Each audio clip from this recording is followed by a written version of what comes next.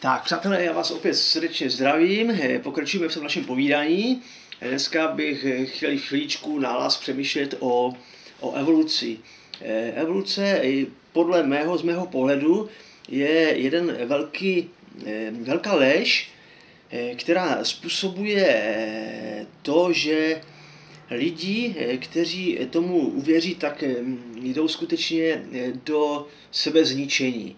A když člověk začne přemýšlet o té evoluci, co to znamená, tak eh, je to vlastně eh, jakási teorie, která říká, že všechno kolem nás, co nevytvořil člověk, že vzniklo samo. Samo, samo, že stačilo na to hodně, hodně roku a že to prostě vzniklo samo. Teďka si představte, že byste někomu řekli, na ty brýle byste viděli poprvé v životě brýle a řekli někomu, hele, ty brýle vznikly sami. A nebo byste řekli eh, třeba tomu budíku tady, jo, co to je, budíček takový malý, abyste řekli, ten budík vznikl, vznikl sám, od sebe, z ničeho nic. Jo? A, ale ten člověk, který začne brát trochu rozum, takový brýle sluneční třeba, že? Když člověk začne brát rozum, tak eh, i když eh, nevidí kdo ty brýle vyrobil a kdo to ty brýle vymyslel, tak eh, dojde nějak rozume, rozum, rozumem k závěru, že eh, ty brýle někdo nejenom, že vyrobil, ale dokonce někdo vymyslel. A že ten někdo, kterého sice neznám, prostě, že ten někdo existuje. A když se člověk podívá na ty věci, které evoluce označuje to samo, to samo, eh, vemte si takového člověka. Jo? Jestli ten člověk může sám vzniknout vlastně z ničeho.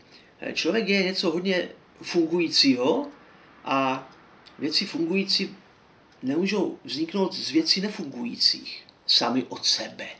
Protože podmínka, aby něco vzniklo, tak, tak musí předtím něco fungovat. To je logické, že ano.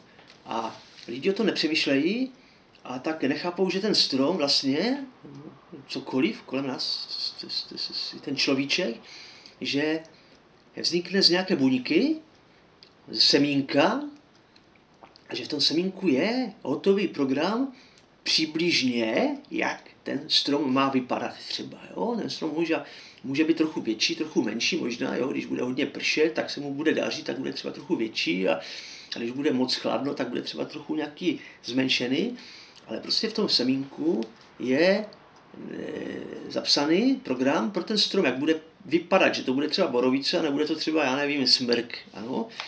Takže lidi o tom moc nepřemýšlejí, ale já věřím tomu, že kdyby začali o tom přemýšlet, tak začnou přemýšlet o tom, kdo je za tím stromem.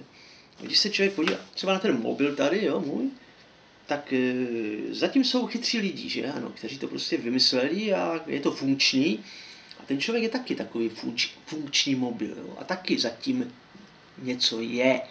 A my jsme nevznikli z ničeho. My jsme vznikli z lidské buňky. A eh, ten člověk,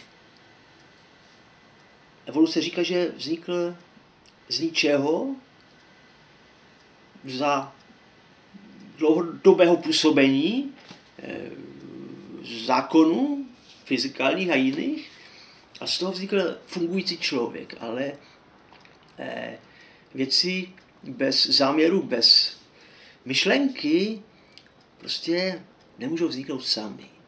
Fungující věci a věci promyšlené. Když si člověk začne o tom přemýšlet, tak, tak, tak začne přemýšlet o tom, že za tím človíčkem je nějaký někdo moudrý, chytrý a že to je asi pan Bůh teda.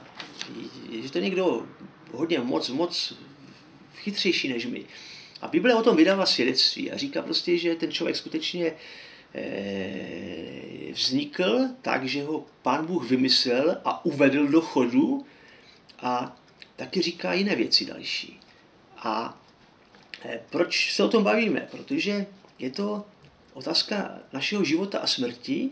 Pokud totiž člověk uvěří nějaké lží, tak e, je problém. A to jsme si povídali minule možná o těch falešných bankovkách, jo? když člověk uvěří lží a veme ty falešné bankovky, jo? je někdy uklamán, tak eh, při první platbě v obchodě vlastně narazí těžce jo, a můžou zavřít za to. Jo.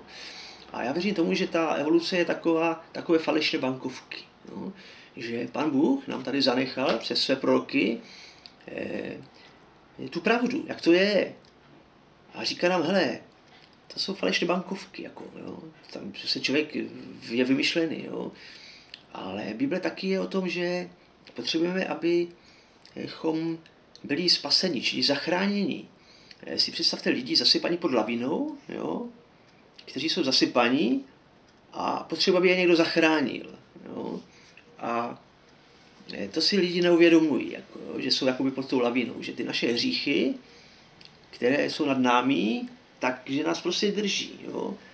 A že přijde čas, kdy prostě eh, už nám nikdo nepomůže ale že Pán Bůh říká v Biblii přes ty své proroky, že Pán Bůh chce, aby každý člověk poznal pravdu a každý člověk, aby byl zachráněný od těch hříchů. Jo?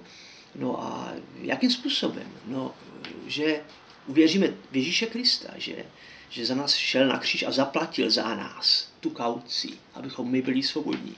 Že tou vírou se můžeme zachránit, ale chce to hodně hledaný v božím slově, podle mého, v tom novém zákoně, Eh, co ten Ježíš vlastně nám tady zanechal za poselství. A on říká, zachraň, přišel jsem vás zachránit, přišel jsem vás spasit, jako pojďte za mnou.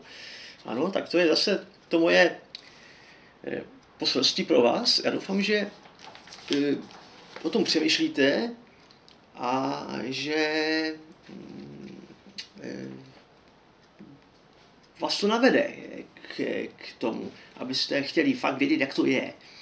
A abyste Eh, neuvěřili hlavně lží, aby se, nechali, nenechali podvést, protože Bible taky mluví o tom, že je tady někdo, kdo nás chce zničit. A ten někdo je e, mistr lží a že nás oklame. Že to je něco podobného, jak když jeli ti židé do koncentračních táborů, tak byli nacisty oklamání, že eh, oni jim, nacisti jim řekli, že jdou vlastně pracovat, že jdou do lepšího, ale, ale nacisti je chtěli vloženě zlikvidovat. Že jo.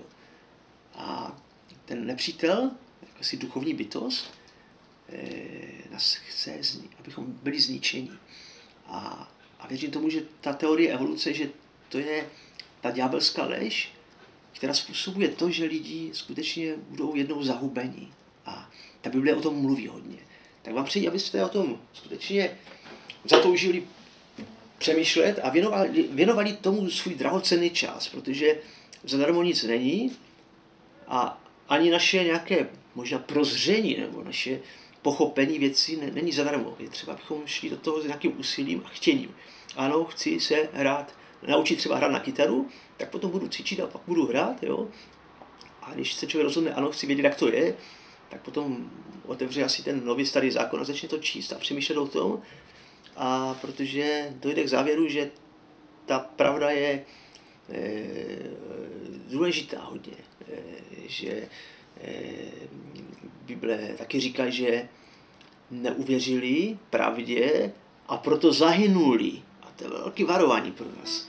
Takže já vám dneska zahraju písničku jednu, se pokusím zahrát.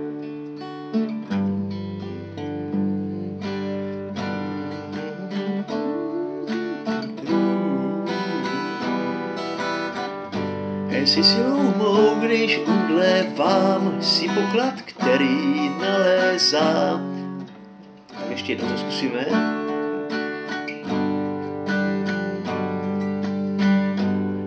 Si silou mou, když udlevám si poklad, který nalézám. Ty si mi vším, co mám.